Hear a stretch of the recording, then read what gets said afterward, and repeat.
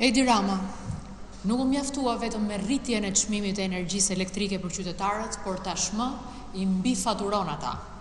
Janë me mijëra ankesat që kanë ardhur nga e gjithë Shqipëria për abuzimet me faturat e energjisë elektrike. Qytetarëve u është dashur të paguajnë jo pak, por mbi pesëdhjetë për qind të kostos reale të energjisë që kanë konsumuar. Dhe thonë, që pasi shkojnë dhe ankohen, u thuhet, paguajeni një herë dhe shohim muajin tjetër. Kjo është vjedhje, nuk ka asnjë emër tjetër për këtë.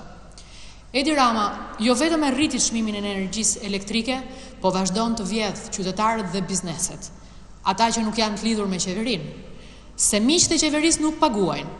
Dhe atë që nuk paguajnë miqtë e qeverisë, ai ua nxjerr qytetarëve duke i mbifaturuar. Më tetëmbëdhjetë shkurt duhet të protestojmë për qindra kryefamiljarë të papunë, që nuk kanë para për të siguruar as energjinë elektrike për fëmijët e tyre.